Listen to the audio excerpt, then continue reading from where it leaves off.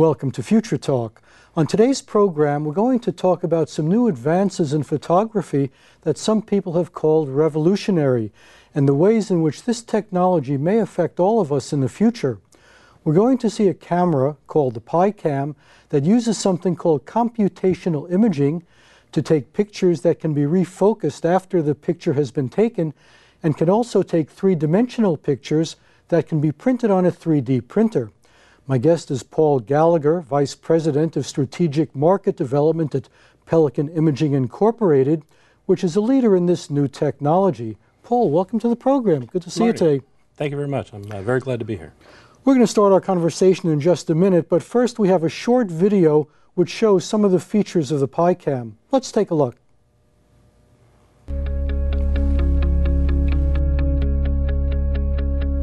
Imagine that your mobile phone has more than one camera. When you take a photo, depth information is captured at every pixel, so you can adjust the focus even after you take a picture.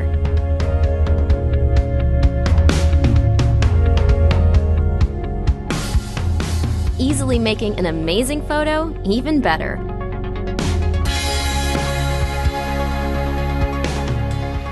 You can focus on multiple subjects at the same time.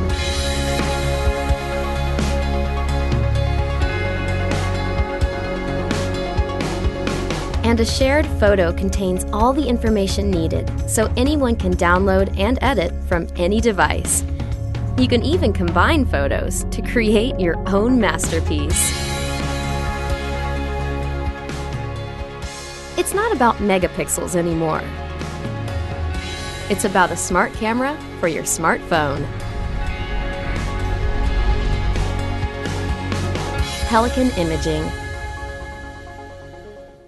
So that was a short video about the PiCam. Paul, what else can the PiCam do? What are some of the other capabilities? Uh, well, some of the other capabilities we have built into this is with the architecture, we actually uh, have better low light performance than you'd see with an equivalent design. Uh, and it's, it's, based on the architecture. Uh, but fundamentally, one of the one of the main drivers for the architecture is the fact that it's about half the thickness of a conventional uh, camera in your cell phone. And this is a significant issue because the two cameras in your cell phone, the front-facing camera and the primary camera, pretty much now define the thickness of your phone.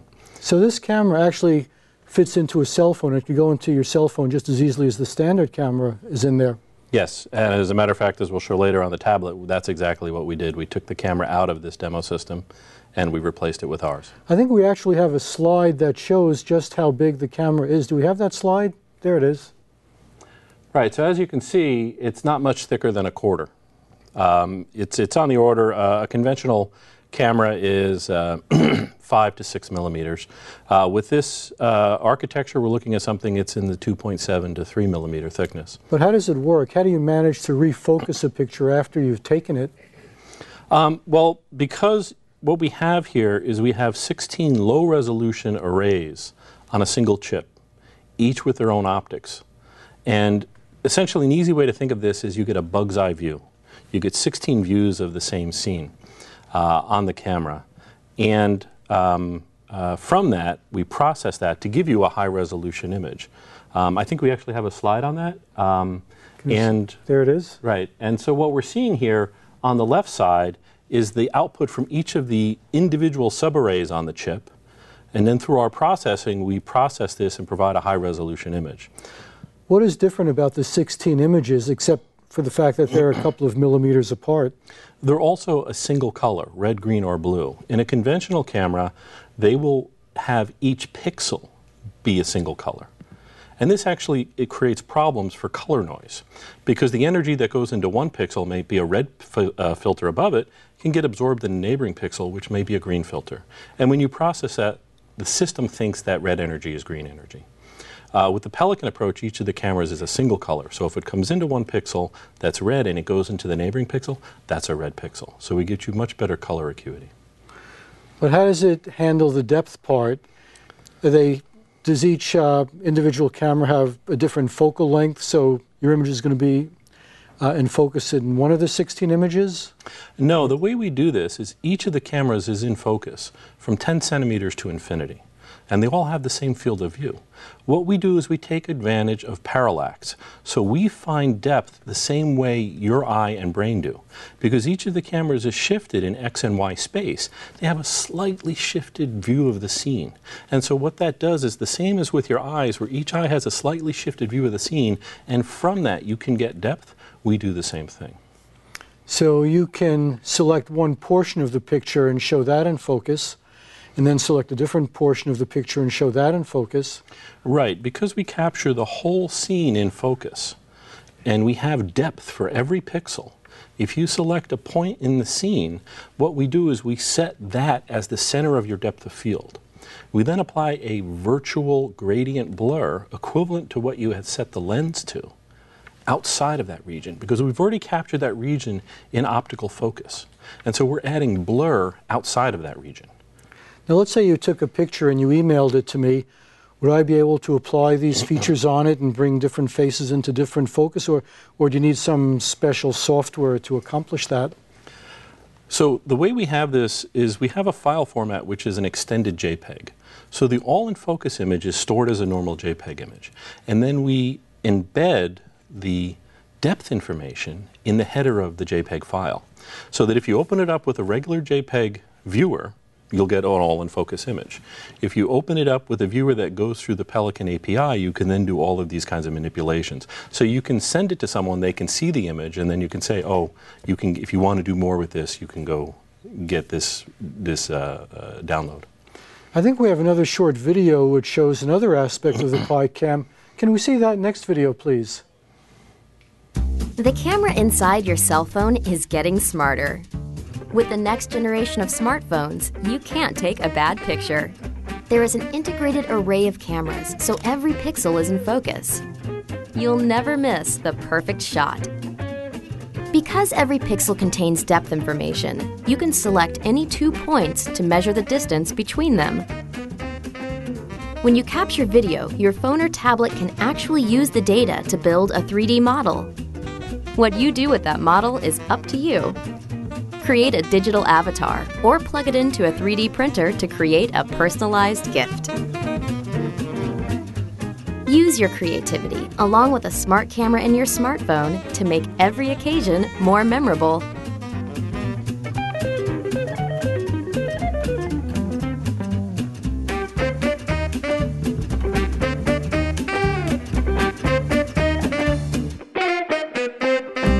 Pelican Imaging. And that it was a video showing the three-dimensional effects of the PiCam.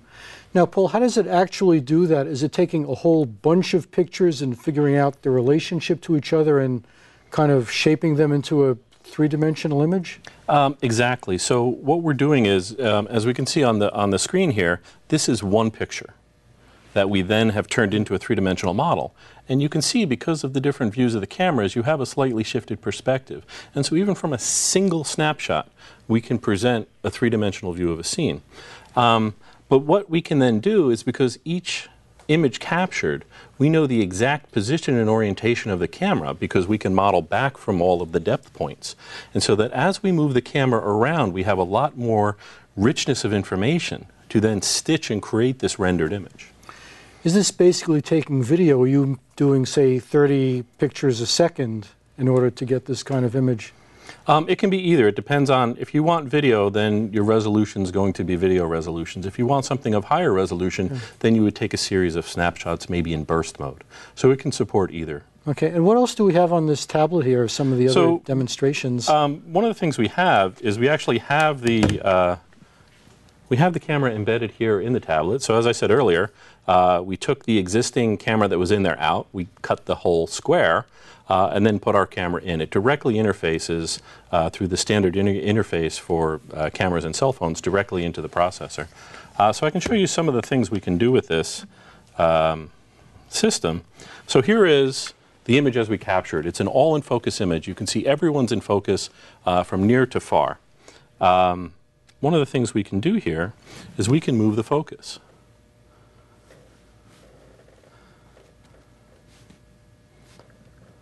Does it recognize a face and focus on a face, or does that not so, matter? Um, no, it doesn't matter at all because what we're doing is we have a depth point for everything in the scene.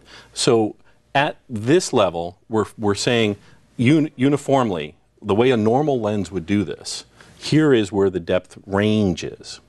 Right? But what we could do is we could set, structure it so that one person is in focus and the person next to them isn't. I don't have this image here, um, but we're also doing this non-destructively. So we can move the focus uh, from point to point. But one of the things we can do in this that you can't do in a normal camera is the person in the foreground's in focus, and the person in the background is in focus, but the person in the middle is out of focus. So imagine you're on vacation in Paris, and you stand by the Eiffel Tower and you take a picture of your spouse. And you've got the beautiful Eiffel Tower in the background, you've got your beautiful spouse in the foreground, and 200 sweaty tourists between. So you can actually have now an image where your spouse is in focus, and the Eiffel Tower is in focus, and everyone else is out of focus. And I understand that you can also cut pe people out of the picture and put them into other pictures. Right. So, um, as we saw in that very first video. One of the things we can enable is, let's say, uh, this image was posted. She posted this image in Facebook, and the other two uh, gentlemen here are tagged in it. So one of the things we can enable is because we have a, a depth map that's of the same resolution as the image itself, we have very, very finely defined edges. And so let's say this image got posted and, and uh, the gentleman at the top says, you know, I really don't like that other guy. Well, he can get rid of them. And repost the image this way.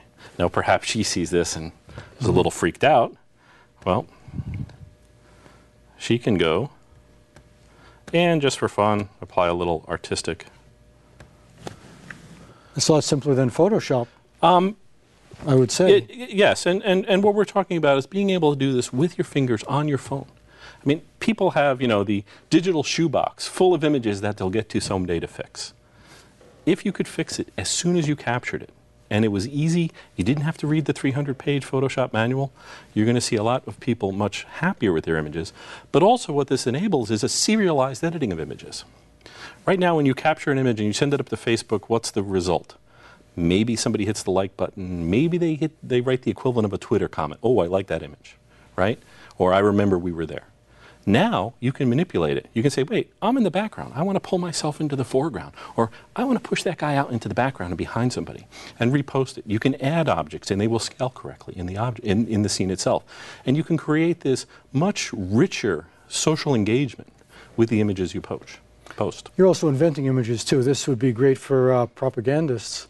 Potentially, yeah. I mean, you know, uh, you remember back, you uh, you know, in, in, a movie you saw Tom Hanks pretty much shake every president's. Uh, like in the Soviet yeah. Union, somebody would be excised from the picture who was not in favor anymore. You could do that. Yes, yes. Well, how does this compare to a regular camera? Does this replace a traditional camera, or does the traditional camera still do some things that you want to keep? Um, it depends on the market. It depends on the on the product line. So you know, the Pelican solution is very focused for the consumer space on small form factor cameras. So we're talking about uh, cell phones and, and tablets and laptops and, and TVs, uh, phablets, these kinds of, of opportunities.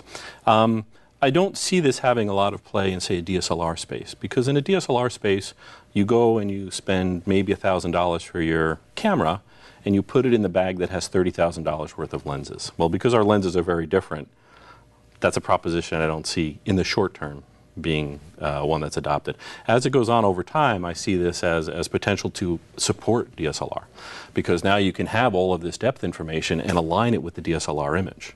Uh, but that I see as, as a little staged a little farther out. We're, so right now we're focused very much on uh, the consumer space and the implementations in the consumer space. Now is the camera actually available or is it not quite on the market yet? It's not quite on the market yet. Uh, what we expect is we expect this to, uh, depending upon the customer because this is going into existing well-known brand platforms based on their when they bring things to market we expect this to be uh, late next year or early 2015 so if you buy uh, an iphone in 2015 uh, it'll have this pre-installed instead of the current camera um, if you buy a phone, I don't want to pay oh, a particular okay. phone, but right. uh, you know, the, the, there is a smartphone. Uh, yeah, we, are targeting the smartphone because of the processing power on the smartphone.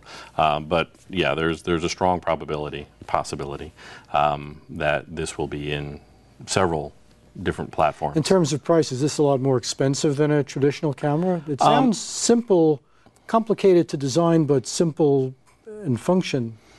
Um, yeah, it's uh, right now it's a little more expensive because it's a much smaller base of suppliers. Um, you know, the Pelican is a software company. We're working with the existing high volume suppliers to make the particular chip. Uh, and the optics, and these are these are companies that are shipping millions and millions of units a month, and they have the strong expertise and the capabilities on on that side.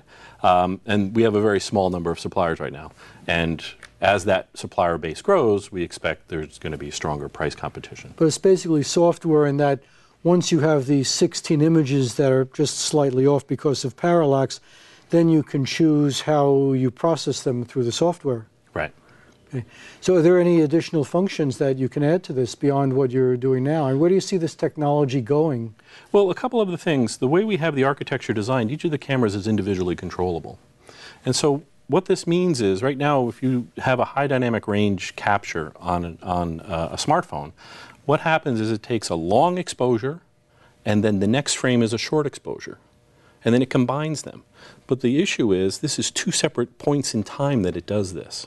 And I've actually seen from some very popular smartphones people having eight eyelashes because they blinked between the two captures. And this, you have these kinds of issues with, these, with this. With the Pelican approach, we can have some of the subarrays with a long exposure. And within that exposure, the other subarrays have a short exposure. So we combine the data all within a single capture time. Uh, to give you a, a significantly reduced uh, motion artifact issue. The other thing we can do is we can have each of the cameras operating independently. So if each of the cameras, you mean each of the 16 each of the yeah each the of the array. subarrays in, in the in the solution can be operating independently. So if I want to capture a high speed image, high speed video for slow motion playback, let's say 200 frames per second. Um, if I want to do that, then that means the maximum amount of time I can have one frame running in a legacy camera is 5 milliseconds, as opposed to 30 milliseconds, which is normal. So that means it's six times less light per frame. With the Pelican solution, we can have one frame start with a 30 millisecond exposure, and the next frame 5 milliseconds later starts, and the next frame 5 milliseconds later, and the next one 5 milliseconds later, so that we can capture under the normal lighting conditions, because most high speed imagery needs a lot of light. Um, and so, where do you see? Where do I see this being used? Well, for uh, on your phone, you're you're uh, at little league game. Your son or daughter's up at bat. The pitcher goes starts to throw the ball. You hit the high speed mode, and you capture the swing in high speed, and then you take it back out as they're trotting off to first base. And then you can play it back, and you're not going to have any of the image degradation from having each of the frames be much shorter exposure. So you're doing video, and can you apply all these focusing effects on each frame of video? What what if you want to change the focus on, and you have many frames? So yeah, so actually, right now, editing video is very difficult, right? Because you have to do it on every frame, and there's not a lot of automation involved in that. Because we can isolate all of the objects in a very high resolution, you can actually track right through the video. You can trace things through the video. And also, you can start to do some very interesting things relative to someone being occluded in the video and then coming back in. So you're watching, uh, again, you're watching your kids play soccer, and they run behind someone. All right, now if you're focusing on them, you've lost them. Right? And then they come back out. Well, because you know where they were at the depth point when they come back out, you know where to look for them. Or you want to take a picture of them running up to the goal, right? With legacy camera, you want to get them on one side and you want to get the goal on the other, and you do that, and the next thing you know, you're focusing on the lady across the, the field. Now you can select that person and you can track them in three dimensional space. No matter where they move, you can keep them in focus. So that you can move the camera, you don't have to hold them in the center of the scene. So you get a much richer engagement with what's actually happening in the scene. What about other kinds of applications for this technology? For example, medical imaging. Uh, X-rays today are kind of flat, not too much depth. They have devices which spin around the body and make little planes that a computer kind of assembles into a 3D form, kind of clunky to say the least. Uh, does this have an application in that type of realm? Uh, potentially, we see uh, we see a bunch of different applications. Uh, some very interesting things for uh, living with dignity uh, for uh, for cameras as um, the population is aging and they want to stay in their homes, um, but you still want to make sure they're okay. And so, doing things like predicting uh, the the probability of, of someone to fall. Well, you can actually train a physician to watch someone walking, and they can do a pretty good job after training of understanding the probability of this person to fall and get hurt. Um, you can train cameras to do that. If I have this in three-dimensional space, I can train that camera to do very, to do this very well. Um, and as we look at those kinds of applications, another space is the security markets. There's a lot of cameras in security markets. There's not a lot of, of people watching them, however, and so there's a lot of need for good automated security. And whether this is home, whether this is at the airport, whether this is in your parking lot, you need to know there's people, not cats, not raccoons, but maybe not raccoons, but people that are going to do something. And you, you, you, you have a problem with scale when you do these things. You have a problem with flashes of light or shadows fooling a legacy camera. When you have depth, you can pull this information out much easier. You can send much less data to be processed. And so you can spend more time on each frame with the part you care about. And as we extrapolate this out into applications like automotive, if we look at the automotive space, you see the Google cars riding up and down uh, Highway 85 and all over the area here. Um, so you see the trend is towards people starting to accept autonomous driving vehicles. You need a lot of information to do that because you're going to have about 30 years of autonomous driving vehicles and people driving vehicles on the road at the same time. So these cameras could actually serve as sensors judging speed and distance for oncoming cars and instantly feed that back into a computer based in the car. Right. And tell you what to do, or unless the car is just doing all the driving itself. Well, even if the car is doing if the car is doing all the driving itself, it really needs to know what's going on. It needs to know that there's a pothole and you steer around it. It needs to know um, that the the data that was taken relative to GPS doesn't apply today because two of the lanes are closed. Um, but also, as we look into the cabin, right? Um, as we start looking into the cabin, I need to know where you are to have safer airbags. I need to know that you're paying attention to the road. A big problem right now is distracted driving. I want to be able to, hey, look back at the road, warn you. Right? If I can do a three-dimensional model of your face and I can understand where you're looking, I can understand. Oh, you're looking at your text. You're not looking at the. Well, you the have dash. a computer that's figuring out if I'm looking off the road, basically. Right. But the issue is by providing the depth information, it significantly reduces the processing and significantly increases the accuracy. So some people have called this technology revolutionary. Do you see it that way? Do you think it's really going to make a big difference in how we live? Oh, definitely, definitely. Um, the potential here uh, for, for this type of application in terms of assisting how people engage with the computerized world around them and how the computerized world can now start to do a better job of understanding your intention. You really need depth to start doing that very well because you don't want to spend most of the power of your computer on your camera and processing. You want to minimize that so that all the other things you're doing on that computing system or on that, on that smart car or with that smartphone aren't burning a lot of power just to understand what you intend to do.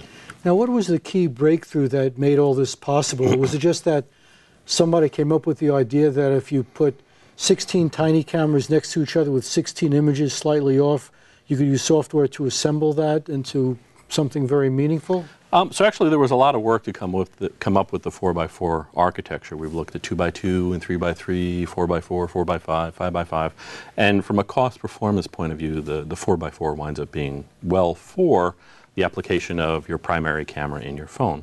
Other architectures would be better for, for other instantiations.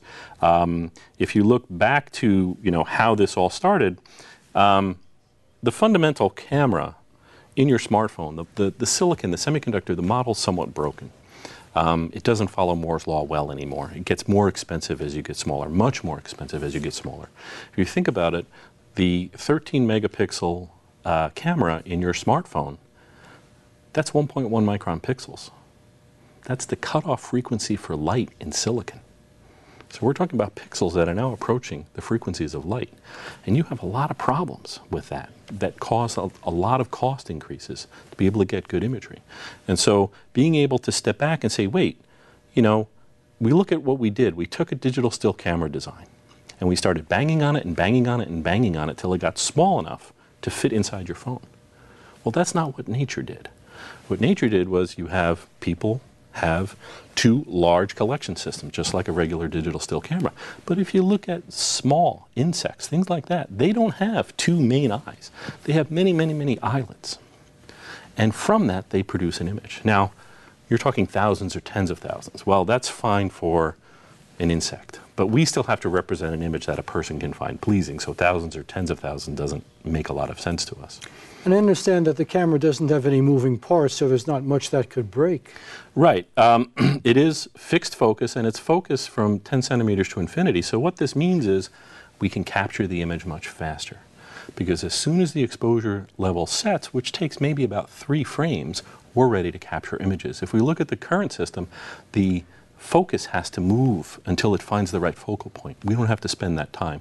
So from power on to first shot and then a shot over in the background and a shot in the foreground, we can capture them almost instantaneously. Will this make photographers lazier? Right now they have to make an effort to focus. Now they could say we don't have to bother focusing because the picture will be just perfect no matter what we do. No, actually, what I see is, you know, this is, as I said, this is focused on the consumer so that they can get what they meant to get out of the image. Uh, what I also see is this is going to really enhance what the photographer can do. It's going to make them much more efficient. Because even though you can do all of these kinds of things that we're showing here, it doesn't mean you will. You may still send these out to someone who has much more expertise in these kinds of things. They're much better tool sets to work with. So actually what I see is from a work product perspective, it, it's actually enabling the professional photographers to be able to take it that much farther. So do you see this pretty much replacing existing cameras, even among high-end professionals? Um, potentially over the long term. I think in the, in the short term, it's going to make it um, replace for the consumer level products and maybe an adjunct. We have about one minute left. Any final thoughts for the audience? Um, so if you look at it, this is the first fundamental change to the camera architecture in hundreds of years. And we're doing a lot of changing here. We're doing a lot of disruption, but we're not disrupting the supply chain. We're working with the existing suppliers. We're working with the existing players. We're working with the existing manufacturers.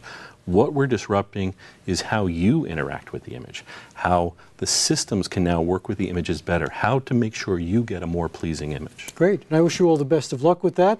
Thank you for being here. Uh, I've been speaking with Paul Gallagher from Pelican Imaging. Thank you for watching. Visit our website, www.futuretalk.net. For Future Talk, I'm Marty Wasserman, and we'll see you next time.